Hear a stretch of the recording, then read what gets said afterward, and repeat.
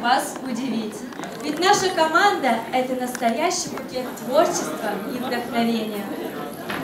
Кстати, у нас много свободных девушек, поэтому в продолжении темы авторское стихотворение от Юлии Неймышевой.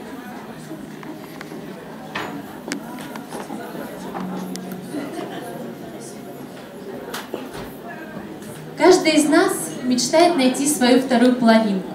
Рисует его образ, представляет, какой будет встреча, и задает примерно такие вопросы. Какой же ты?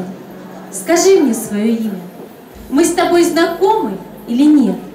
Ты стряхиваешь капли с плеч растаявших снежинок или глотаешь кофе в переполненном кафе, предпочитаешь неразбавленные чем-либо виски, слывешь гурманом вин, эстетом умных книг. Вся жизнь твоя наполнена доверха смыслом, ты в ней, пожалуй, многого достиг. Идешь домой, под ноги взгляд на луже, или считаешь звезды с кем-то на Бали. А может быть, лежишь сейчас простуженный и тоже ждешь внимания и любви. Давай же встретимся на площади у Стеллы субботним днем, примерно где-то в два. Я знаю, придешь ты непременно, придешь и скажешь, здравствуй, это я. Спасибо. Ну что ж, мужчин своей мечты мы пока ищем, а вот хороших тренеров мы нашли уже.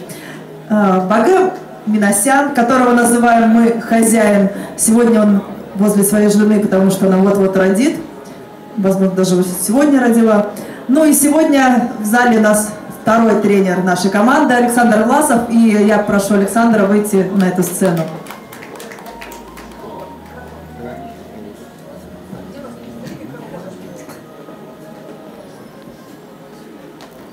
Всем добрый вечер. Все красивые какие а, Ну, я что хочу сказать. Я вот, знаете, вообще, в принципе, тренером-то не знал, как стать вообще, да. Так, мама спрашивает, а как, что? А я даже не могу сказать. Как-то засосало, наверное. И футбольной карьерой у меня ни самого не получилось, поэтому пытаюсь что-то, наверное, объяснить и показать слабую половину человечества. Вот. Я очень рад, что вы у меня есть. Все очень творческие. Я наконец-то увидел это. Наконец-то.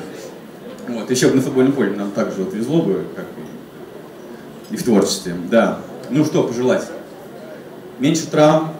Самое. Для меня самое это главное. Потому здоровье ни за какие деньги это не купишь. Я так думаю. Вот. Поэтому слушайте друг друга. Уважайте друг друга и относитесь по-человечески не только в жизни, но и на футбольном поле. Ура!